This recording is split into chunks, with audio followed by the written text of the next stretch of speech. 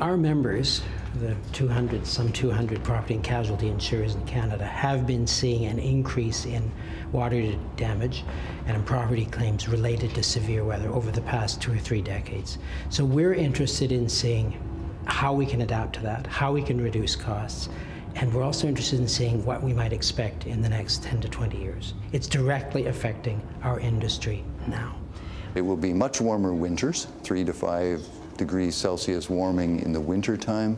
Uh, we'll have warmer summers, although the warmer summers will be not quite as in number of degrees as much as warming as averaged in the winter time.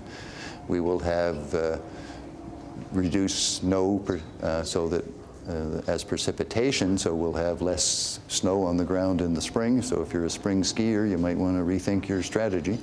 Uh, but then looking at the events we're really focusing on is more heavy rain events, more or less coast to coast to coast.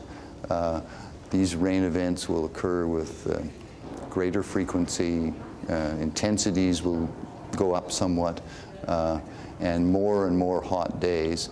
This leads to other factors, let's say combining with, for example, sea level rise on our east and west and north coasts.